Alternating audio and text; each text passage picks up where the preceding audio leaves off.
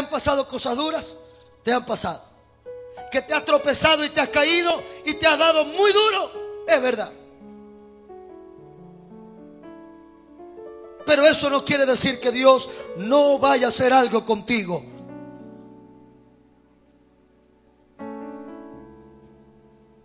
Que el diablo no te engañe diciéndote que por las cosas que pasaste ayer o en el pasado, eso va a significar una derrota continua. ¿Sabe lo que sucede cuando alguien le cree al diablo esa mentira? Se convierte en alguien acomplejado. ¿Usted sabe lo que es un acomplejado? Tiene complejos. Complejos de inferioridad. Complejos de, de inseguridad. Son inseguros. Siempre cuando hay, se sienten como cucarachas en baile de gallina. Se sienten impuros, se sienten indignos. Es más, yo conozco gente que se sienten hasta feos. Yo tengo que decirle, hay gente más fea que tú que se ha casado, chico, anímate. No es que yo soy más feo que una patada en la espinilla. Gloria al Señor. Deje los complejos. Deje los complejos. Usted no tiene que vivir con complejos. El que, el que tiene complejos es infeliz.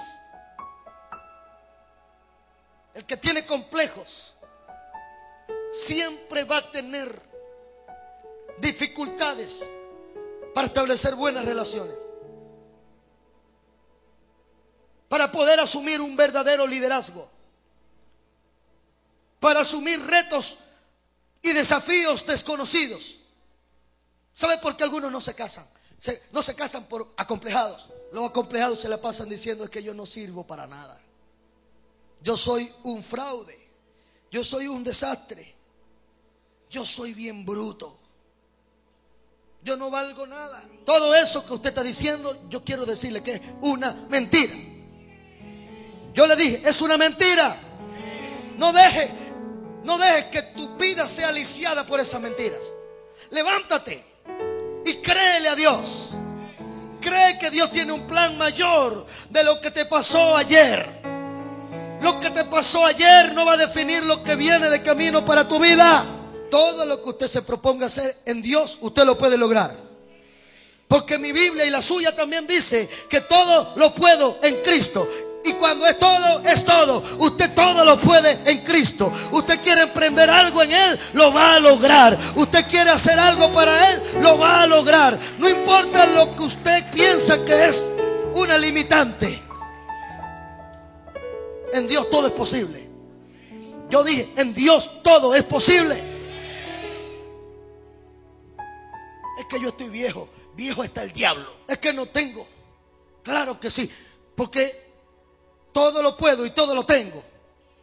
En Él. Hay cosas que tú no vas a lograr al menos que tengas un buen hombre de Dios diciéndote, si lo puedes hacer, si lo puedes lograr. Este será tu año, este será el año donde Dios va a bendecirte, va a darte cosas. No va a ser fácil, van a venir las pirañas a picarte o a morderte, pero te aseguro que si tú perseveras hasta el, hasta el final, vas a obtener la corona incorruptible de vida. Yo creo que el Espíritu Santo trajo este mensaje hoy. Porque tú al final ya no serás el mismo y la misma.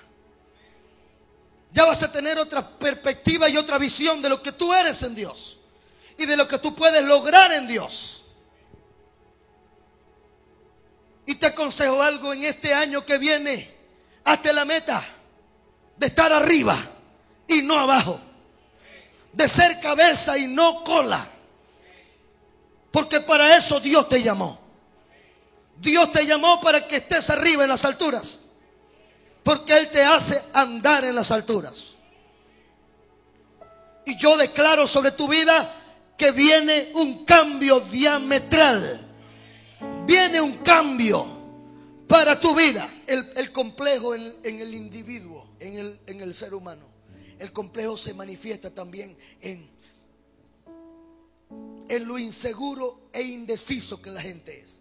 ¿Usted no conoce a gente insegura? Que sí me caso, que no, que sí, que no, que caiga un chaparrón.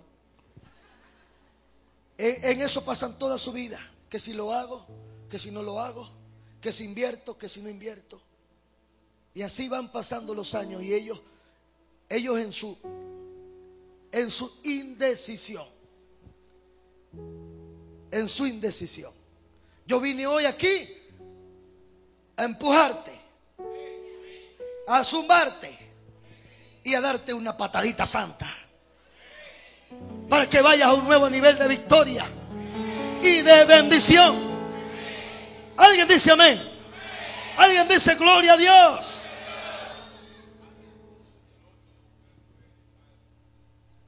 Esa es la única forma que el diablo no puede hacerte fracasar más. Él va a intentar hacerte fracasar. Él va a intentar mantenerte en la misma, en la misma condición como mantuvo a Mefibosé desde que tenía 5 años hasta que tenía 18 años. Mefibosé se fue a un lugar solo, aislado. Él dijo, aquí me siento bien en esta cueva. Aquí no me molestan. Aquí me protejo. Aquí nadie me ve. Aquí estoy en un anonimato. Y Mefibosé se escondió en una cueva y en un lugar desierto, solo. A los 18 años Mefibosé ya era un hombre. Un hombre indeciso. Un hombre de doble ánimo. Un hombre que no había logrado nada en la vida. No tenía nada. Un hombre que era víctima de su pasado. Un hombre lleno de fracasos y fracasos y fracasos. Y oiga mi iglesia, yo no estoy negando tu pasado. Tú me podrás decir es que el pastor no sabe lo que a mí me tocó.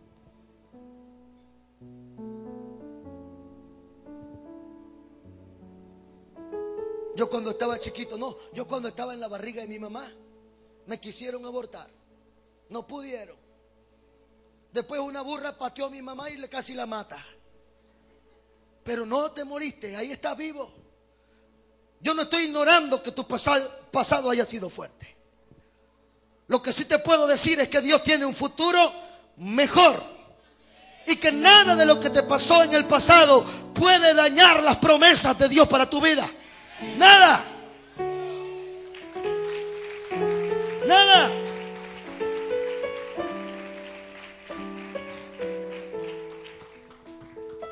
Es más, tengo otra noticia para ti. ¿Sabes algo? Mírame, iglesia, mírame y óyeme. ¿Usted cree que a Dios le importa su pasado? Dios le hace así. A Dios no le importa tu pasado. Porque Dios no tiene planes con tu pasado. Dios tiene un futuro lleno de victoria, lleno de bendición. Gloria a Dios. A Dios no le importa tu pasado. Porque Dios tiene un, un futuro grande. Yo dije, Dios tiene un futuro grande para ti. Y lo que quiero que sepas es que tu pasado no define tu futuro. Nunca. No lo define.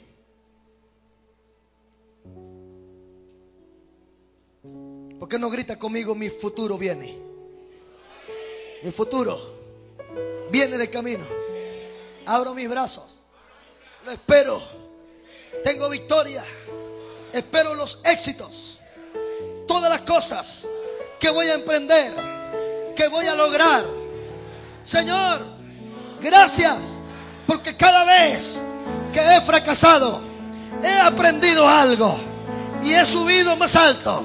Señor, gracias por lo que he vivido, por lo que no tengo, por lo que me ha hecho falta.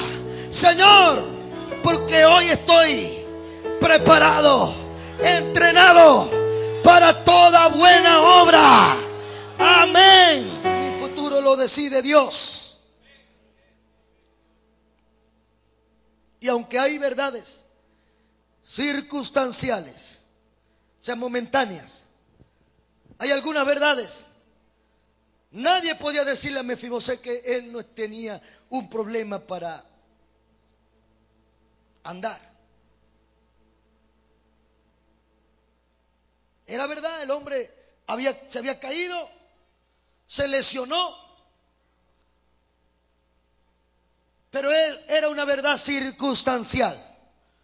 Hay verdades que son circunstanciales. ¿Cuántos tienen problemas aquí? Levánteme su mano. Tal vez algunos de ustedes han pasado por enfermedades. Tal vez a algunos de ustedes les hace falta empleo. Tal vez a otros les hace falta esposa o esposo. Tal vez algunos tienen problemas en sus finanzas. Todo eso es circunstancial. Yo dije, todo esto es circunstancial. Pero también hay una verdad que es eterna en Dios. Miren, se podían, podían decir de Mefibosé que era lisiado, que tenían que ayudarlo para todo, que no se valía por sí solo, que el hombre no tenía nada de dinero, que vivía en una cueva, que no tenía buena ropa, que no olía muy bien, que no se bañaba, que no tenía criados y sirvientes. Podían decir toda la verdad circunstancial, pero no podían negar una verdad eterna. Y la verdad era que por las venas, por las venas de Mefibosé corría sangre real, que era hijo de Jonatán y que era hijo de Saúl, el rey de Israel.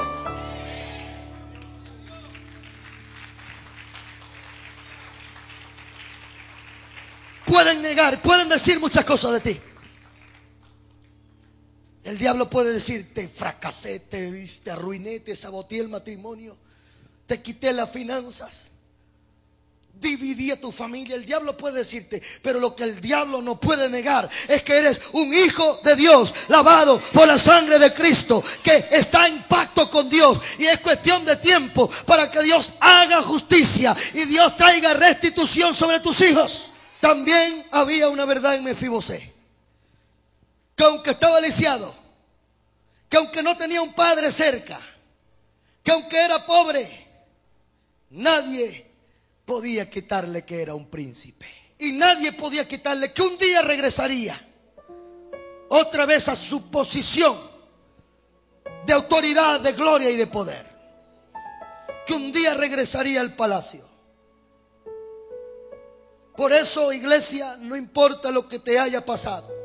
No importa lo que hayas vivido. Tú eres hijo de Dios. Y a los que le recibieron y a los que creyeron les dio autoridad y potestad de ser hechos hijos de Dios. Señores que no tengo ayacas, pero soy hijo de Dios. Señores que no tengo ropa para estrenar, pero soy hijo de Dios. Señores que los aguinaldos no me llegaron, pero soy hijo, hijo, hijo, hijo, hijo de Dios. Hijo de Dios. Aleluya. Espérese, espérese, espérese, espérese, espérese. Que me cayó algo aquí ahora mismo. Mire, el mejor vestido que usted puede usar el 31 y el 24. Vístase de hijo de Dios. Vístase de hijo de Dios. Póngase el vestuario y dígale, diablo, mira, estoy vestido de justicia, de santidad. Estoy vestido como un hijo de Dios. La idea de Dios, a través de su palabra, a través de esta predicación es convencerte a ti de quién tú eres en Él. Si tú te convences quién tú eres, tú vas a saber dónde Satanás tiene que ir. Pero es importante que usted sepa quién es usted. ¿Quién es usted en Dios? Diga, yo soy un hijo de Dios. Usted no es ningún bastardo. Usted es un hijo legítimo de Dios. Porque fue adoptado. Fue comprado a precio de sangre. Y le voy a decir algo. Cuando usted recibe a Jesús como su Salvador, sucede que hay una transferencia y hay una transfusión en su espíritu y en su genética espiritual. Si usted le, le revisan su genética, usted tiene la genética de Jesús. Porque somos linaje escogido. Somos real sacerdocio. Nación santa. Pueblo adquirido o comprado por Dios. No, es que, no es que Dios lo agarró a usted y le puso el apellido. No, no, no, no, no, no, no, no, no. Sucede que cuando usted le recibe a él, hay una transferencia. ¿Y por qué yo le digo esto? Porque esto es clave. Esto es clave para que usted eche fuera los demonios. Los demonios se les sujetan a los, a los hijos, a los hijos de Dios, a los que son hijos, los que tienen la revelación y, y dicen, yo soy hijo de Dios, yo tengo la sangre, yo tengo la sangre, la genética. Por eso mi padre espiritual o, o, mi padre en la fe se llama Abraham. Porque yo vengo de esa línea y esa genética. Y si le dicen es que tú no eres judío, pero los que lo recibieron, los que creyeron en su nombre, les dio potestad y autoridad. Yo quiero que usted salga aquí convencido de que usted es hijo de Dios. Usted es un hijo de Dios. Usted es un hijo de Dios. Usted es un hijo de Dios. Los, hijos heredan. Los hijos tienen derecho. Los hijos tienen autoridad. Los hijos están metidos en la herencia y en el testamento. Los hijos. ¿Sabe cuándo nació la iglesia de Cristo? Nació cuando Jesús estaba en la cruz. Y cuando Jesús muere en la cruz, que dice, en, tu, en tus manos encomiendo mi espíritu y expiró y murió. Viene el soldado con una lanza y atraviesa el costado de Jesús. Porque de la misma manera que de Adán sacaron a Eva de, de la costilla, ahí estaba naciendo la iglesia de la costilla de Jesús. Y cuando atravesaron el costado salió agua y sangre. Y ahí tú estabas naciendo. Ahí tú estabas siendo engendrado en el Espíritu. Por eso no te quede duda, iglesia. No te quede que tú eres un verdadero hijo de Dios. Un verdadero hijo de Dios. Con todos los derechos que un hijo tiene. Los hijos de Dios. Diga, yo soy un hijo.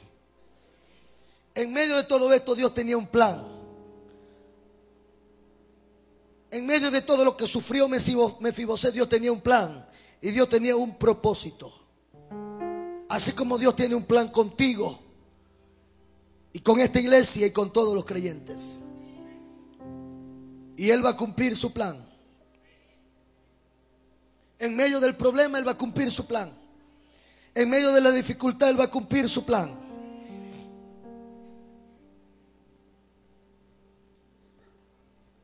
¿Por cuánto tiempo Satanás te tuvo lisiado? Postrado.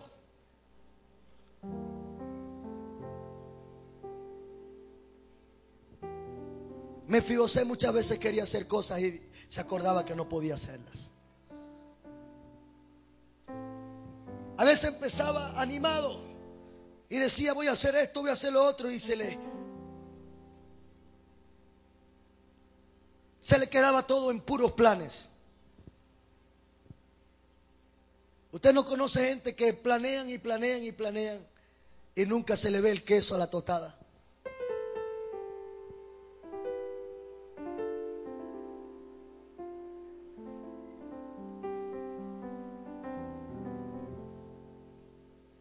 Tal vez me fibosé decía, no, yo no voy a hacer, no voy a hacerme reír de la gente que se burlen de mí. Mejor no digo nada.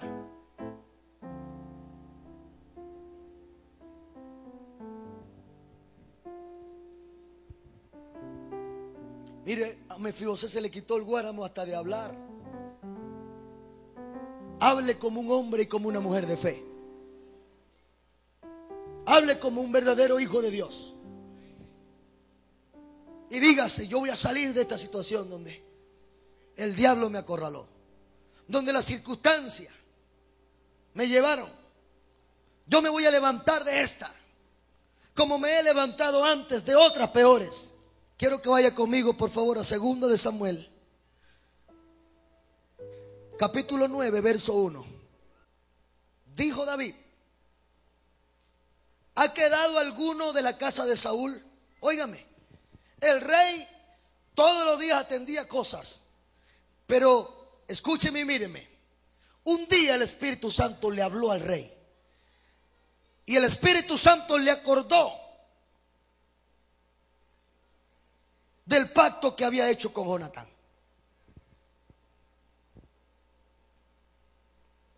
David y Jonatán seguramente hicieron un pacto. Le dice, tu familia será mi familia. Cuando tú tengas un problema, yo te voy a ayudar. Cuando yo tenga, tú me ayudas a mí. Seremos amigos hasta el fin. En las buenas y en las malas nos vamos a echar la mano. Cuando yo tenga problemas, tú oras por mí. Cuando tú tengas problemas, yo oro por ti.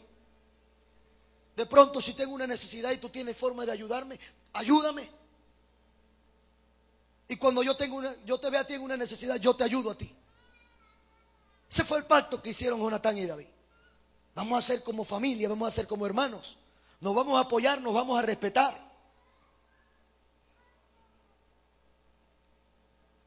Y dijo David, ¿ha quedado alguno de la casa de Saúl a quien yo haga misericordia por amor a Jonatán? ¿Qué tenía que ver Jonatán ahí? Tenía, tenía que ver que había un pacto. Había un pacto. Bien, entonces, próximo verso. Y había un siervo en la casa de Saúl que se llamaba Siba, el cual llamaron para que viniese a David. Y el rey dijo, ¿eres tú Siba? Y él respondió, tu siervo. Próximo verso. Y el rey dijo, ¿no ha quedado nadie en la casa de Saúl a quien yo le haga misericordia de Dios? Y Siba respondió al rey, aún ha quedado un hijo de Jonatán, lisiado de los pies. Próximo verso. Entonces envió el rey David que lo trajeran de la casa de Marquín, hijo de Mayel, de Lodebar. Próximo verso. Y vino Mefiboset, hijo de Jonatán, hijo de Saúl, a David y se postró sobre su rostro e hizo reverencia. Y David dijo David, Mefibosé. Y él respondió, he aquí tu siervo. Y David dijo, no tengas temor, porque yo a la verdad haré contigo misericordia por amor a Jonatán tu padre. Y óigame lo que le dice. Y te devolveré todas las tierras de Saúl tu padre y comerás siempre a mi mesa. Yo creo, yo creo que esto funciona de esta forma. Hay un momento en el cielo,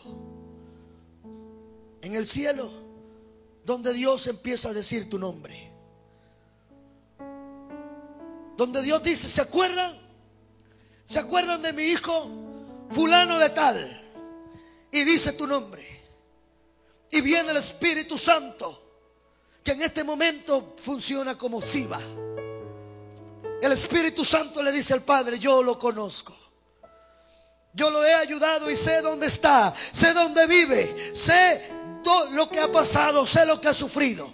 Y el Padre dice entonces, tráiganlo porque lo voy a bendecir, tráiganlo porque lo voy a ayudar, tráiganlo porque lo voy a sacar de esa situación donde está. Qué poderoso es saber que Dios se acuerda de ti. Tú has dicho, tú has pensado que Dios te olvidó. Tú piensas que Dios no se acuerda de lo que Él te dijo, de lo que Él te prometió.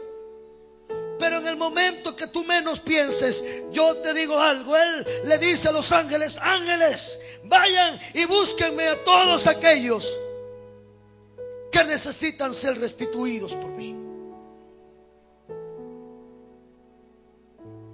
Ahora el Padre no dice, por amor a Jonatán. Ahora el Padre dice, yo lo hago por amor a mi hijo que murió en la cruz por ellos. Por el pacto que mis hijos tienen con ellos.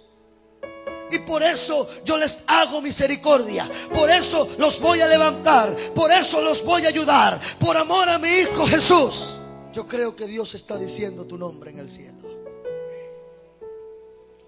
Dios está diciendo, habrá quedado alguien en la tierra que necesite que yo le haga misericordia. Que necesite que, que yo le restaure, que yo le ayude. Dios está acordando de ti.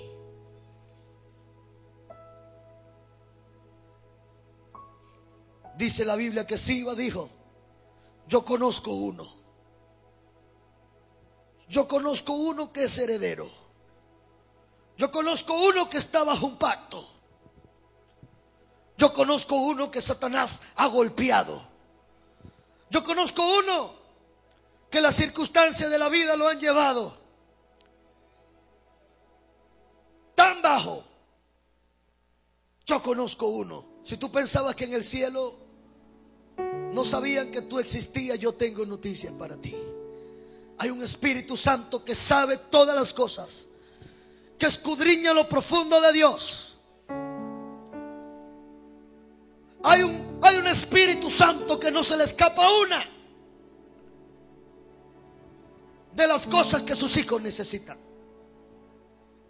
El mismo Jesús dijo, Él tomará de lo mío y Dios lo hará saber. A Mefibosé lo maltrataron, lo lisiaron, le mataron su fe, le cortaron sus alas, le quitaron toda esperanza. Lo metieron en una cueva. Sin embargo, el Espíritu Santo dice, yo sé dónde Él vive. Yo tengo su dirección, tengo su teléfono. Tengo su email. Y si tú lo necesitas aquí, yo te lo traigo. Y te lo presento delante de ti, limpio y justo. El verso 4, léalo conmigo. El rey está preguntando, ¿dónde está él? ¿Dónde vive? Dice la Biblia. Entonces el rey preguntó, ¿dónde estás? ¿Se acuerdan que fue lo que el Padre preguntó a Adán en el huerto del Edén? Adán, ¿dónde estás tú?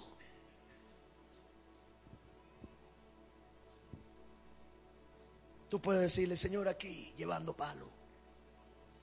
Señor, aquí estoy sufriendo un poco la crisis.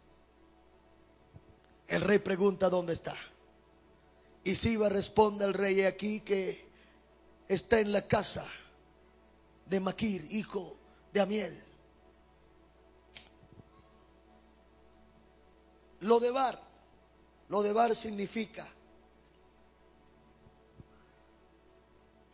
lugar desierto. Lugar desierto significa lo de Bar. Y ahí estaba Mefibosé viviendo, donde no había nada donde no había posibilidad de surgir, donde no había la capacidad de desarrollarse, porque era un lugar solo y desierto.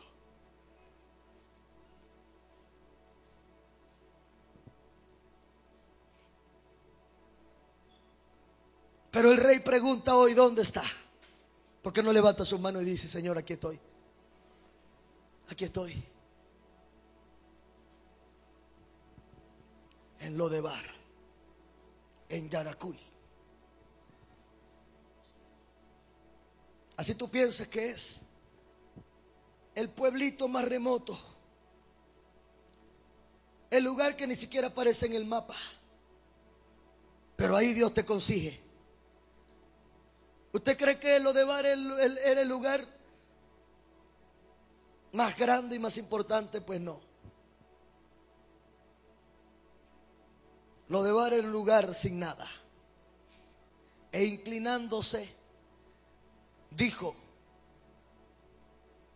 ahí está hablando Mefibosé. Y mire cómo habla y cómo se expresa de él mismo Mefibosé. ¿quién es tu siervo? Entre paréntesis, soy un pobre loco. ¿Quién es tu siervo? Para que mires a un perro muerto como yo. El rey le dice, tú no eres ni perro ni estás muerto. Te sientes así. Cree que estás así, pero tú no eres así. Es el grave problema de la gente que se acostumbraron a vivir en lo de bar. Próximo verso. Viene Dios en su palabra y te habla y te dice. Entonces el rey llamó a Siba, al siervo de Saúl, y le dijo, todo lo que fue de Saúl, todo incluyendo lo, lo que el rey tenía como rey, todo lo que era de él, toda su casa, yo lo he dado al hijo de tu Señor, se lo he dado a él. Próximo verso.